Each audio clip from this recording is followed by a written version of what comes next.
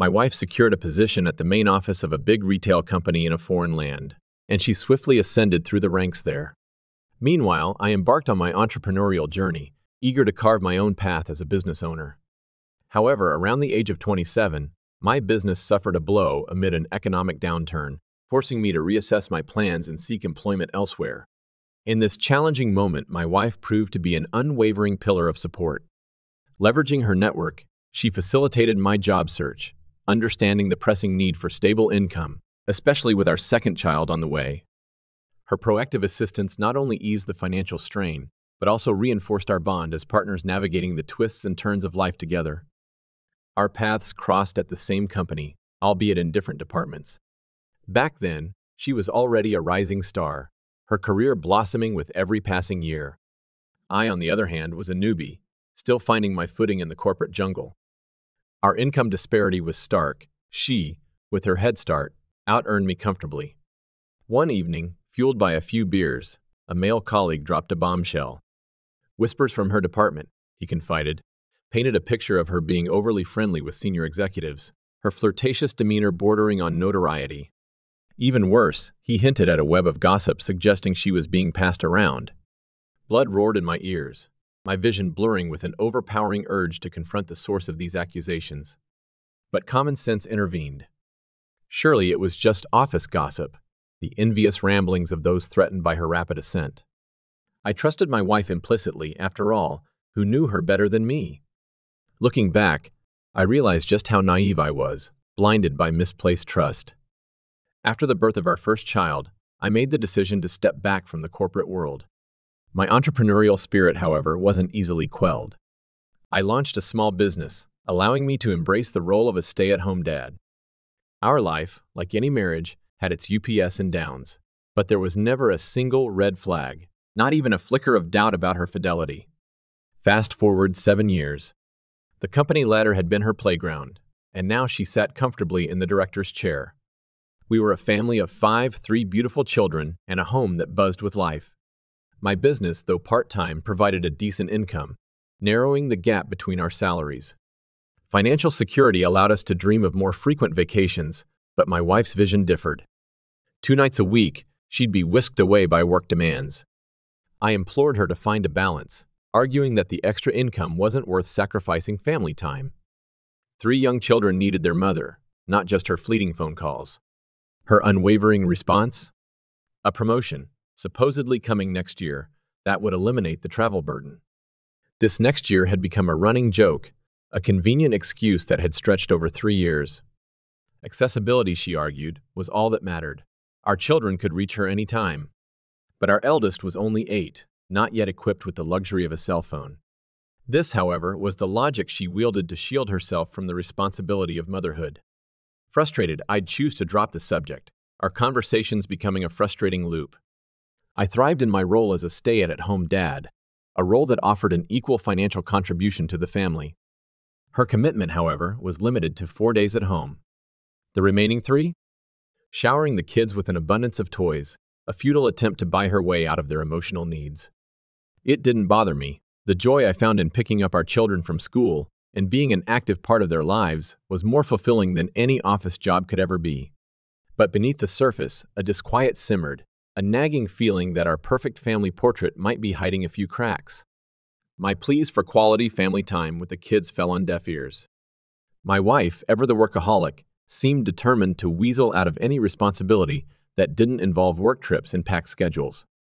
Our intimacy, once a vibrant part of our relationship, had dwindled to a predictable routine, once or twice a week, a stark contrast to the early days of our marriage.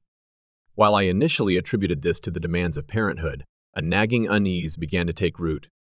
Then, a chance encounter with a former colleague, someone still entrenched in my wife's work environment, stirred a hornet's nest of suspicion Casual conversation flowed, the usual catching up. I mentioned the relentless travel schedule my wife endured, a burden I shouldered with a mix of understanding and frustration. My colleague's reaction, a flicker of something unreadable in his eyes, sent a tremor through me. He knew her routine intimately, every twist and turn of her professional life.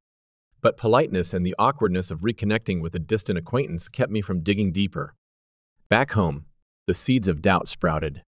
My wife, always the picture of polished professionalism, hadn't changed her dress code. Her wardrobe remained the same, a testament to the woman I loved. The spark, the connection that drew us together, that too remained. The only glaring anomaly was the ever increasing travel burden. My role as a stay at home dad provided a unique opportunity, a chance to observe, to investigate.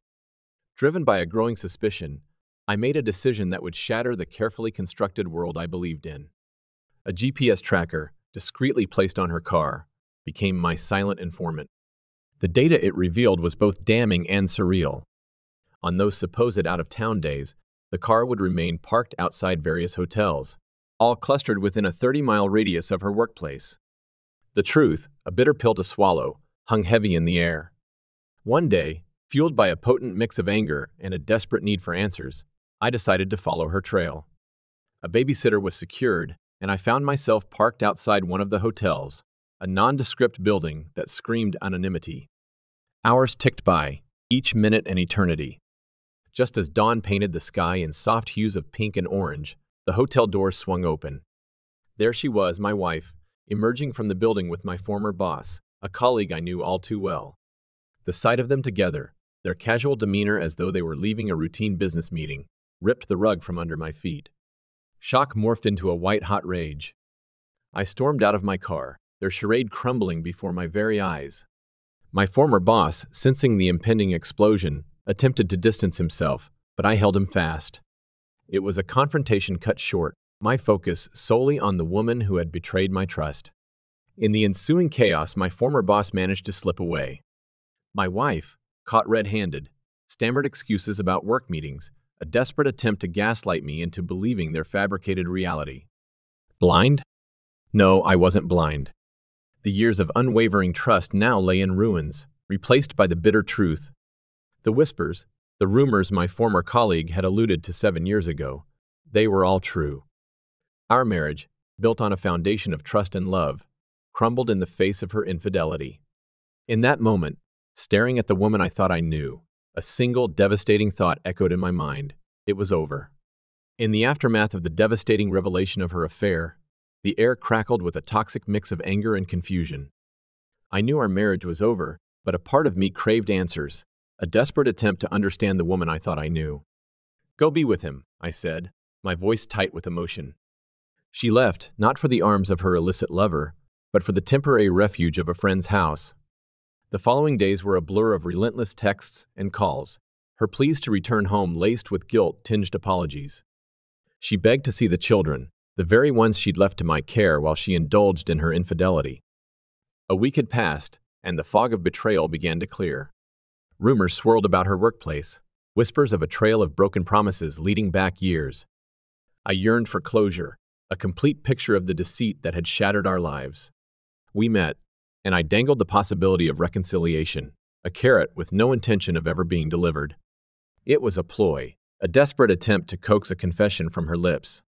She remained silent, unwilling to delve into the darkness of her actions. Undeterred, I embarked on a mission of my own. The truth, when I finally unearthed it, was a monstrous betrayal. Nine years of marriage, a mosaic built on trust and love, lay shattered at my feet. Seven affairs, a staggering number that spoke of a deep seated yearning for something outside our relationship.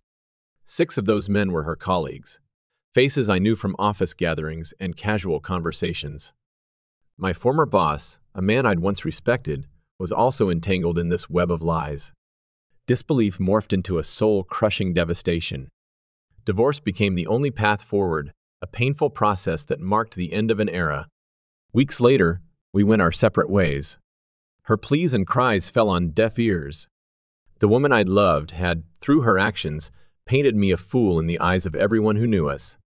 The men she'd betrayed were colleagues, husbands, individuals with lives now stained by her deceit. Months after the split, her desperate texts continued, a constant reminder of the pain she'd inflicted. But the most devastating blow was yet to come. A DNA test, undertaken with a flicker of hope, revealed a truth too horrific to bear. My middle child, the apple of my eye, wasn't mine biologically. It shattered my heart in a way I hadn't thought possible. Her denial was a final insult, a desperate attempt to cling to the illusion of a family she'd so willingly destroyed. Further tests confirmed the initial results. She begged me to keep her secret, a plea I vehemently refused. Fueled by a sense of justice for the women she'd wronged, I reached out to the wives of her former lovers, a letter detailing the need for a DNA test for my son. Unsurprisingly, their relationships fractured under the weight of this revelation. The news spread like wildfire, forcing her to abandon her job and retreat from the world she'd built. The men, unsurprisingly, remained silent. My son remained my son, regardless of biology. I kept a record of his biological father's identities, a document for him to access if and when he desired. A cautious optimism now guided my life. A relationship with an old classmate blossomed, a tentative exploration of love built on trust and honesty. Unlike my past, there were no red flags, no whispers of deceit. Genuine happiness, a long forgotten sensation, began to take root. Full custody of my children offered a sense of stability. While avoiding my ex wife remained a priority, the knowledge that she was miserable, working a mundane job, brought a small measure of solace.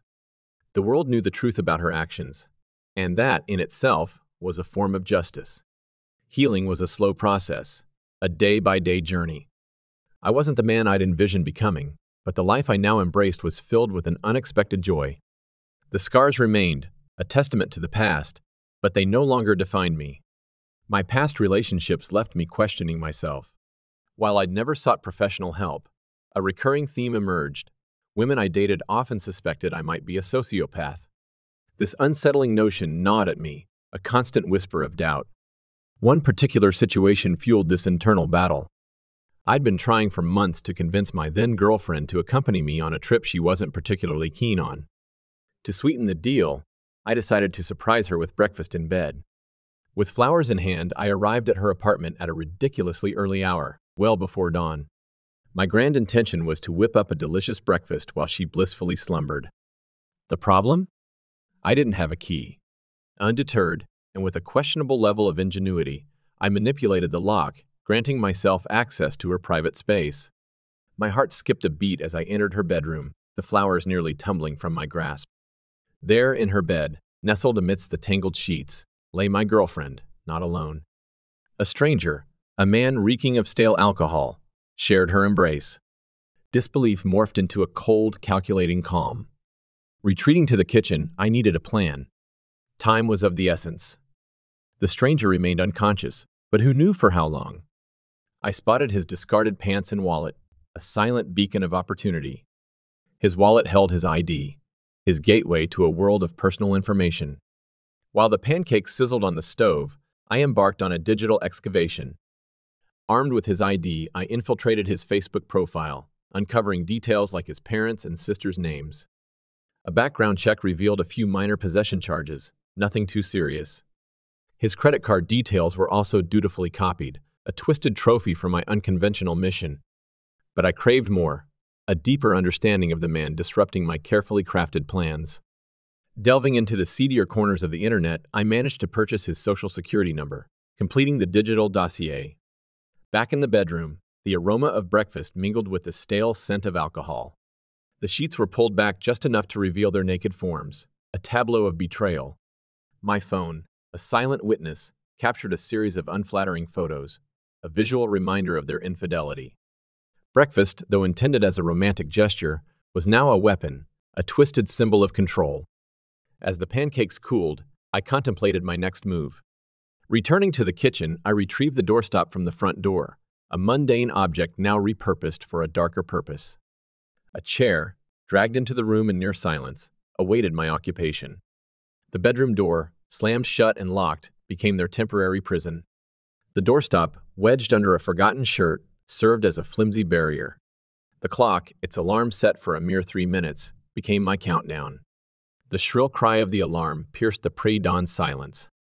My ex, startled awake, fumbled to silence the insistent beeping. The breakfast tray left on the nightstand became a cruel mockery of my original plan. Her initial confusion deepened upon seeing me, a silent sentinel in the corner of the room. A strangled cry escaped her lips, the words "Oh duck" tumbling out in a mix of fear and resignation. I instructed her to remain seated, a quiet command infused with a hidden threat.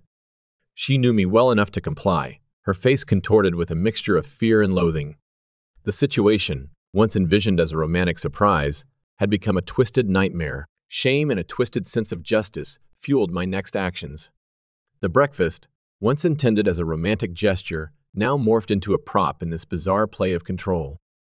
As the pancake sat untouched, I outlined my plan for my ex and her unwelcome guest. Their groggy confusion was no match for my steely resolve. Get out of bed, I instructed, my voice leaving no room for argument. Walk to the other side, bend over, and wake him up. Kiss him, and tell him there's someone you want to introduce him to. Make it clear no yelling, no getting out of bed.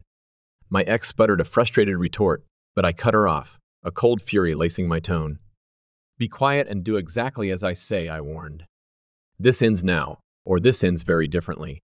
Her fear was palpable, a silent acknowledgement of the power I wielded in this absurd situation.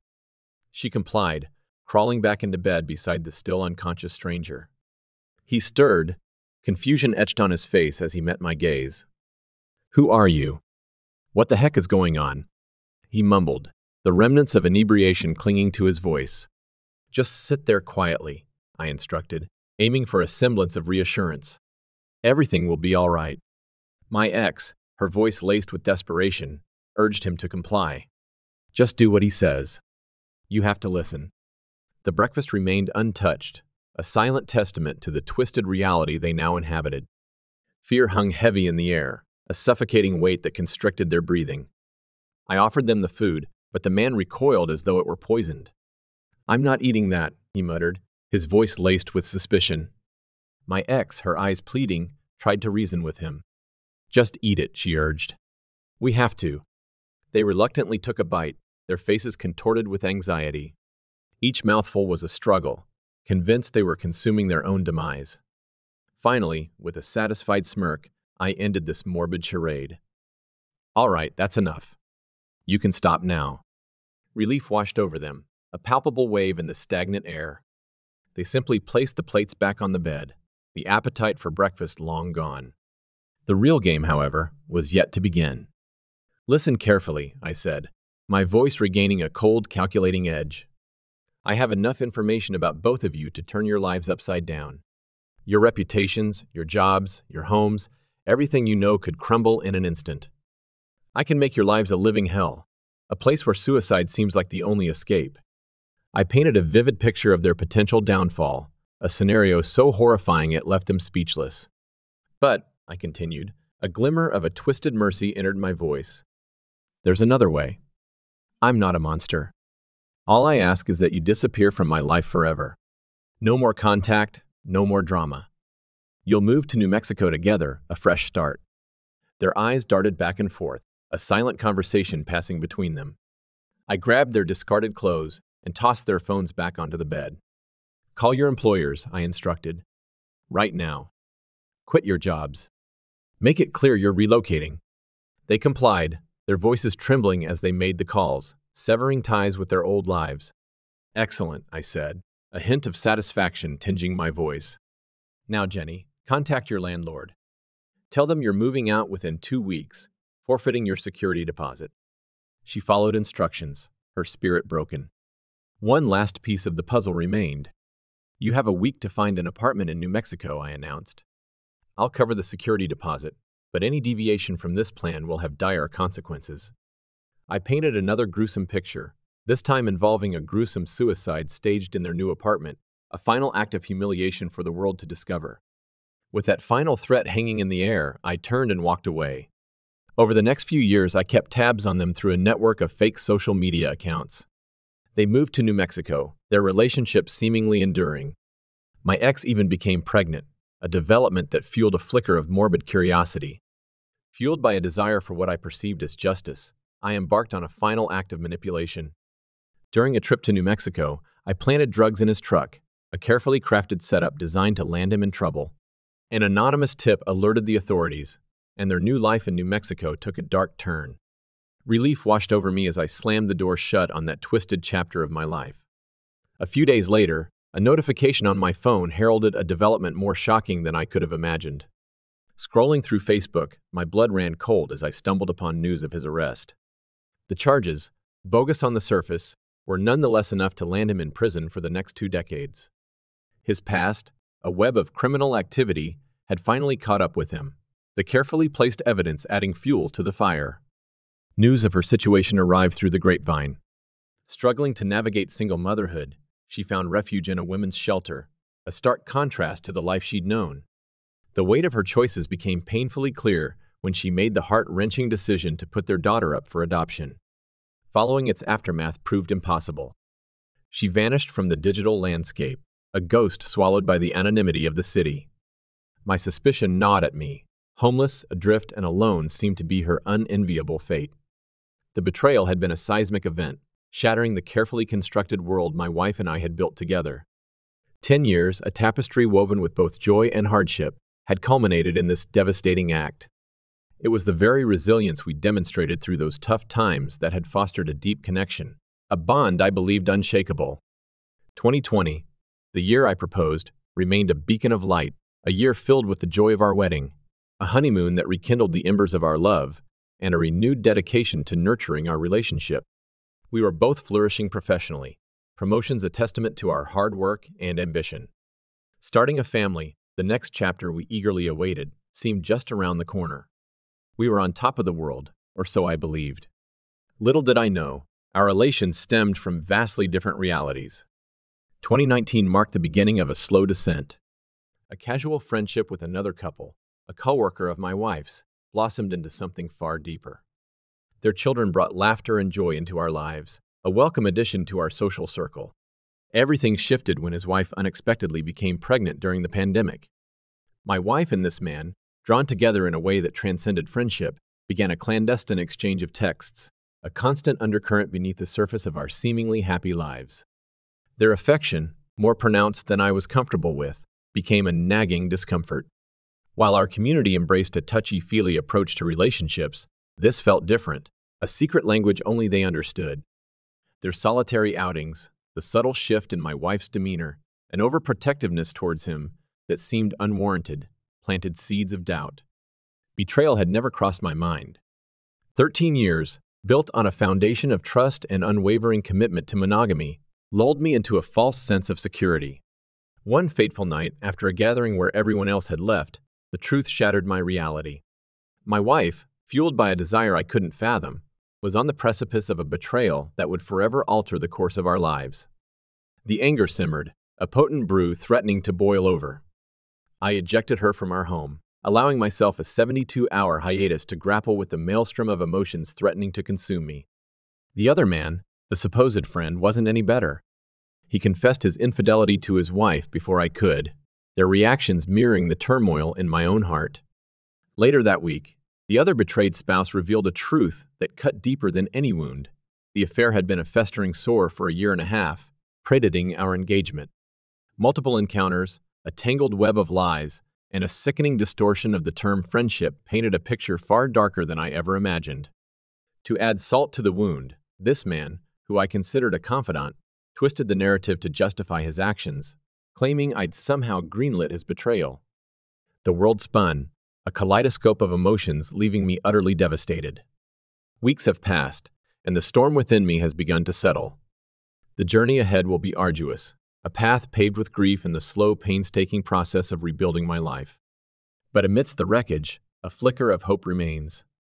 The outpouring of support from loved ones, the shared experiences from others who've walked a similar path, these are the life rafts I cling to as I navigate the uncharted waters of this new reality. The world as I knew it shattered in a million pieces. The discovery of my wife's infidelity sent me spiraling into a dark abyss of emotions. Drinking became a crutch, a desperate attempt to numb the throbbing pain. Tears came freely, a relentless torrent mirroring the storm brewing within me. The urge to smash things, a primal scream for release, found its outlet in broken objects, a chilling testament to the devastation I felt. Therapy became my lifeline, a safe space to navigate the wreckage of my life. Thankfully, my friends, their unwavering support a beacon in the darkness, surrounded me with love and understanding. My wife, seemingly remorseful, took full responsibility for her actions. No manipulation, no cunning attempts to deflect blame, she owned her mistakes with brutal honesty, confessing her shame to our friends. but the seeds of doubt had been sown. The affair, a festering wound that had gone unnoticed for far too long, gnawed at me. The trauma of catching them, etched indelibly in my memory, cast a long shadow over her remorse. Weeks of introspection, a painful odyssey within the depths of my own soul, finally yielded a decision. Separation, a necessary step on the path to healing, was the only course of action I could fathom. I told her, with unwavering resolve, that she needed to move out. Our relationship, a once vibrant tapestry, lay in ruins. Building a future together, the very notion felt like a cruel joke. The dream of children, a mere three weeks old, now seemed like a cruel mirage. The world had shifted on its axis, and I was left to grapple with the fallout. Six weeks passed in a blur. My wayward wife, nomadic by necessity, bounced between friends and family. Our conversations, few and far between, had been confined to logistical matters, a strained courtesy masking the gaping chasm that separated us. An email, a tentative step towards disentangling our lives, addressed the thorny issues finances, pets, furniture, the looming question of who would keep the house. I yearned for an amicable process, a clean break that would allow me to heal and move on. Then came the bombshell. Ignoring my email's intent, she bombarded me with declarations of love. A glimmer of hope, a desperate plea for reconciliation. It felt like emotional manipulation. Days bled into one another as I weighed her words, the sting of betrayal refusing to fade. Then, at text, she was returning home, expecting our disagreement to be water under the bridge. Roommates? She suggested, oblivious to the absurdity of the proposition. My boundaries, forcefully asserted, left no room for misinterpretation. Therapy, a haven of guidance, had equipped me to deal with her emotional onslaught. She craved reconciliation, painting a delusional picture of a stronger than ever bond. The mediator, a neutral observer, echoed my sentiments. Our marriage was beyond repair. The irony of her situation wasn't lost on me.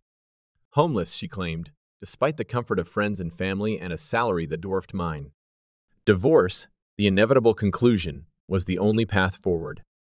Financially strapped, I offered her the house we rented, a burden I couldn't bear alone. A new apartment, a fresh start, awaited me in April. Until then, I sought refuge in a friend's house, the anxiety a constant companion, a stark reminder of the life I'd lost. The road ahead promises to be long and arduous, paved with the shards of a shattered dream. But with time, and the unwavering support of those who truly care, I will rebuild. The light at the end of the tunnel, though faint, was finally becoming visible. I'd secured a promising new apartment, a fresh slate upon which to rebuild my life. Dividing our belongings and caring for the pets became a delicate dance, a constant negotiation in the wreckage of our marriage. When I informed my soon to be ex wife about informing the landlord of my impending departure and requesting a rental reference, pandemonium erupted. Her accusations, rooted in a distorted reality, painted me as a villain intent on evicting her.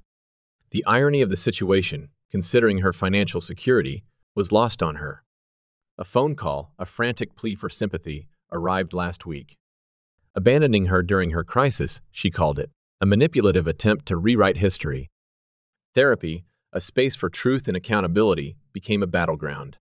My efforts to discard items associated with her affair, a tangible symbol of the betrayal, were met with outrage. The baby planning book, a cruel reminder of a future stolen, became another casualty in this emotional war. Progress, albeit slow and arduous, had been made on the emotional front. Boundaries, clearly defined and fiercely protected, were my shield against her emotional manipulation. The therapist, a neutral observer, became a beacon of sanity. Their intervention, a much needed check on her delusional thinking, held her accountable for her actions. Yet the emotional instability she displayed was undeniable. A hysterical state, fueled by a refusal to accept responsibility, threatened to derail the separation process. Financial planning, a crucial step towards an amicable separation, my original wish, seemed out of reach. Her cooperation, essential for a smooth transition, was nowhere to be found. Empathy, a casualty of her actions, was a forgotten concept. Everything post discovery was a series of injustices done to her, a warped narrative that defied logic. The therapy sessions, intended to facilitate communication, became skewed in her mind, interpreted as personal attacks. Two weeks loomed on the horizon, the date of my liberation. Patience, a virtue in short supply, became my mantra as I navigated the financial negotiations. The fear of her unraveling completely was a constant shadow. The audacity of her demands during the financial settlement was staggering. Egg freezing, adoption fees, repayment of wedding gifts, a financial wish list fueled by narcissism. Accusations of abandonment and manipulation were wielded like weapons, a desperate attempt to rewrite the narrative. The secret depletion of our joint account, a violation of our agreement, revealed her true character. The therapist, in a later conversation, confirmed my suspicions. A narcissist, they labeled her, urging me to distance myself from my own sanity. My new address, a closely guarded secret, was somehow breached. She appeared on my doorstep unannounced, her refusal to return our pet a blatant act of defiance. Prescription medications, a bizarre addition to her list of demands, became a new battleground. Blocking her number, a necessary step, only led to her resorting to harassing calls from unknown numbers. The self-proclaimed victim, the one in need of help, became a chilling caricature of her former self. The therapist's diagnosis, PTSD, resonated deeply, a fitting descriptor for the emotional carnage she'd left in her wake. The path ahead, though fraught with challenges, held a glimmer of hope. With time, distance, and the unwavering support of loved ones, the scars would heal. The digital silence was deafening. After blocking my ex on every platform imaginable, the barrage of texts, calls, and emails finally ceased. Thankfully, my community, a true source of strength, had followed suit, essentially ostracizing her. Yet her ghost still lingered in my inbox. Elusive emails, thinly veiled attempts to lure me back to therapy, a ploy to rebuild her tarnished reputation within our social circle, I suspected. Blog posts, a desperate attempt to downplay her infidelity, arrived periodically, interspersed with updates on our pet, a cruel reminder of the life we once shared, and a clever tactic to maintain a semblance of connection through shared responsibility. The question of our pet was a constant tug of war within me. Guilt gnawed at my conscience. Was denying her full custody truly the right thing to do? But then reason prevailed. The pet, originally mine, became a manipulative tool, a way for her to maintain a foothold in my life through coordinated pick UPS and drop offs. No contact, absolute and unwavering, became my mantra, a shield against the emotional turmoil she threatened to unleash. Two and a half months into my new reality, the road to healing remained a winding path. Good days, sprinkled with newfound contentment, arrived sporadically. Distraction became my coping mechanism, a bulwark against the loneliness that threatened to engulf me. Reframing the experience, labeling it a journey towards peace and freedom, offered a glimmer of solace. But the shadows still lurked, casting a darkness that threatened to consume me. Depression, a constant companion, ebbed and flowed, leaving me numb and questioning the very purpose of my existence. A fantastic therapist, a lifeline in this emotional storm, offered invaluable guidance. My friends, a pillar of support, showered me with love and understanding. Hobbies, once neglected, provided a welcome distraction. A self-care routine, meticulously crafted, became my armor. Yet even this formidable arsenal couldn't completely shield me from the pain. The other betrayed spouse, a beacon of strength in this harrowing journey, became an unexpected confidant. Years of friendship had blossomed into a deep bond, a shared experience forging an even deeper connection. Her resilience, a testament to the human spirit, served as a guiding light. However, the scars remained. She, too, was navigating the treacherous waters of divorce, a shared burden that both united and distanced us. Our first wedding anniversary, a stark reminder of the life stolen, arrived a few weeks ago. Twelve years, a tapestry woven with love and laughter, lay in ruins. The betrayal, a fresh wound, reopened, unleashing a torrent of emotions anger, despair, and a crushing sense of unfairness. The life we meticulously built, a monument to our shared dreams, had been shattered by her deceit. The knowledge that she'd entered the marriage under false pretenses, a violation of my trust, was a bitter pill to swallow. Grief, a heavy cloak, enveloped me. The life I envisioned, the future we planned, had been ripped away. Yet, amidst the wreckage, a flicker of hope remained. A recognition of my own worth, a belief that my life held immense potential, propelled me forward. While the solitary path wasn't one I'd chosen, it was the one I was forced to navigate.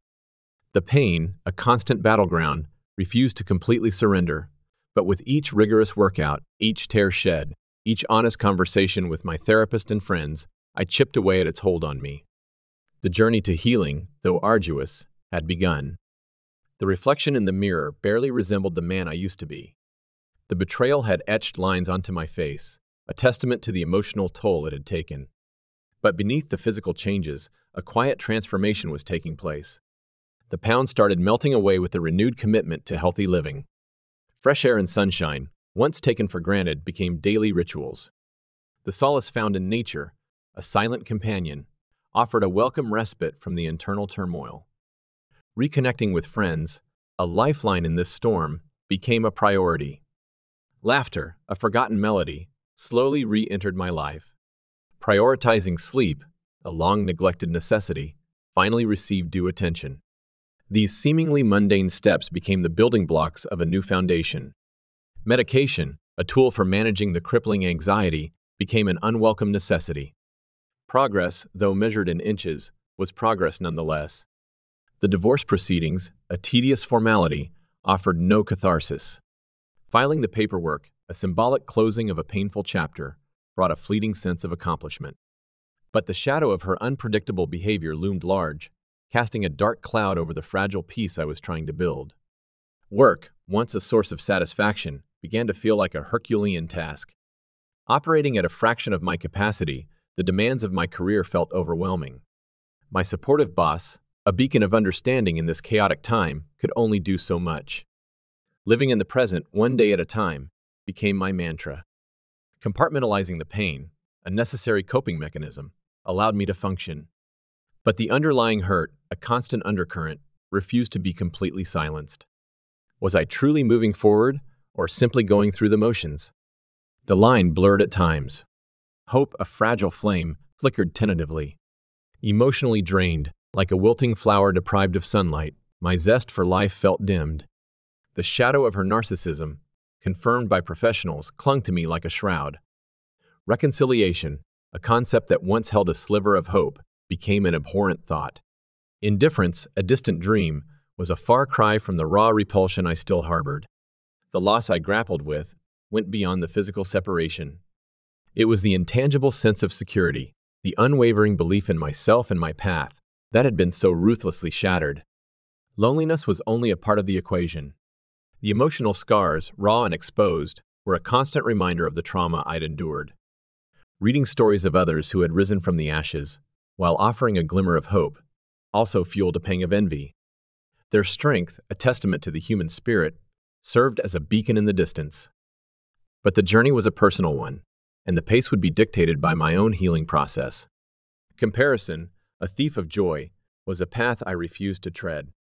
There would be those who had it harder, battles yet unseen, burdens yet to be borne. My focus, however narrow, had to be my own recovery, the road ahead, though arduous, was a path I was determined to walk. The scars, though permanent, would eventually fade, leaving behind a stronger, more resilient me. Finding self-compassion amidst the journey of personal growth is something I aspire to achieve. It's not always easy, as I grapple with the reality of not yet reaching my desired destination. However, I endeavor to view this phase of my life as a season of learning and growth, knowing that it won't last forever. To anyone else facing similar struggles, I extend my sincerest wishes for perseverance and success. Recovery, whether it be from setbacks, hardships, or simply the trials of life, is indeed a lengthy and often chaotic path. But it's also one filled with valuable lessons and opportunities for growth. So, hang in there, stay resilient, and keep moving forward.